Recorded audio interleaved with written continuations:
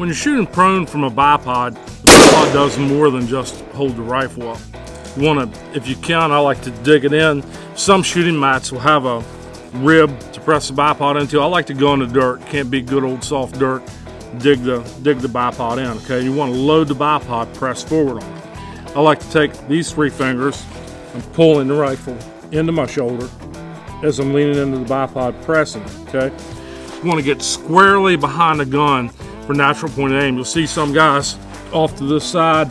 The gun tends to bounce to the right on them on a right-handed shooter um, when they do that. You're better off to be square behind the gun. Try to have that recoil coming straight down, straight down your right leg for a right-handed shooter.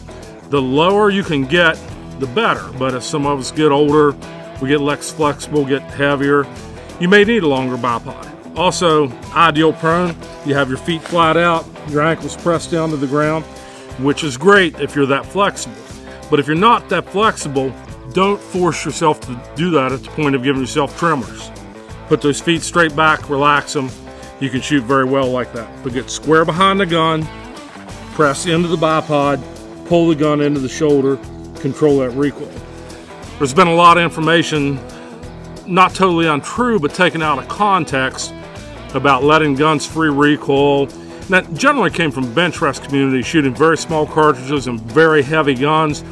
That will not work for a gun chamber for a substantial cartridge that you light enough for you to carry around.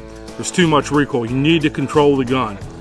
Load that bipod, pull it into your shoulder, control the gun.